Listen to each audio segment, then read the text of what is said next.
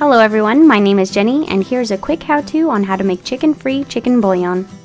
All of the ingredients will be listed down below.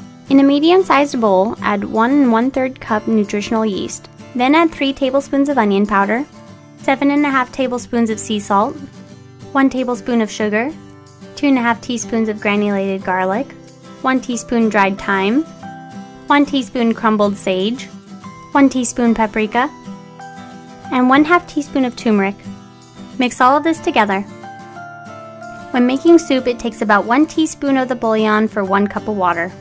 But I like to mix it into my rice. I am using 1 and 1 4 cup water for every cup of jasmine rice. Put it in the cooker and add some veggies to the steamer tray. And set the rice cooker for the type of rice that you are using. When it's finished cooking, season it to taste. And if you wanted some chicken in this meal, go ahead and set your oven to 400 degrees. Rub a chicken breast down with some oil, I'm using olive oil, and then add some seasoning, I'm just using some granulated garlic. Put the chicken breast in the oven until the thick portion of it reaches 165 degrees. This should take about 18 minutes. Slice it up and we're done, a quick and easy dinner. I love finding new ways to season rice, so if you have any awesome recipes, let me know in the comments below.